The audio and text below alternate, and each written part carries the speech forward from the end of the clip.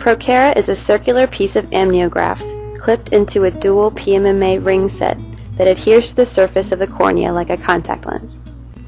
ProKera is the industry's first sutureless graft for ocular surface reconstruction. ProKera is clinically proven amniograft, amniotic membrane clipped, clipped into a PMMA ring and used as a temporary graft for corneal surface injuries. It has been approved by the FDA as a Class II medical device.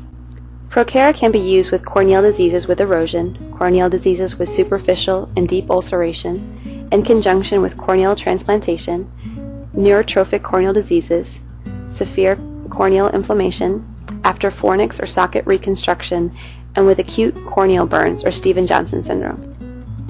ProKera is assembled with the stroma side of the amniotic membrane or the sticky side down against the corneal surface. This provides the natural biologic of actions of promotion of healing, prevention of scarring, minimization of pain, and the diminishing of the formation of new. One drop of proparacaine is instilled to the eye. A lid speculum was inserted. Sterile or forceps was used to grab the PMM ring from inside the bag. With two fingers holding the PMM ring on the arm and carefully one edge will be inserted to the uh, inside the lids behind the speculum and push the other side of the ring to the upper speculum. The insertion is complete by removing the speculum. The eye was then examined under the slit lamp.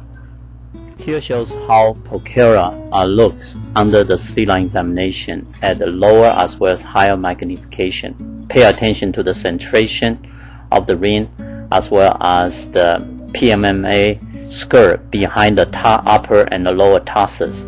Please note that fluorescein can continue to be used to, to, to detect the intact epithelium as shown in this normal eye without removing the ProKera.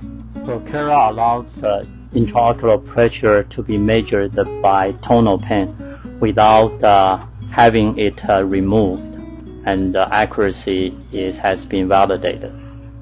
ProKera can be easily removed in the office with the finger maneuver shown here.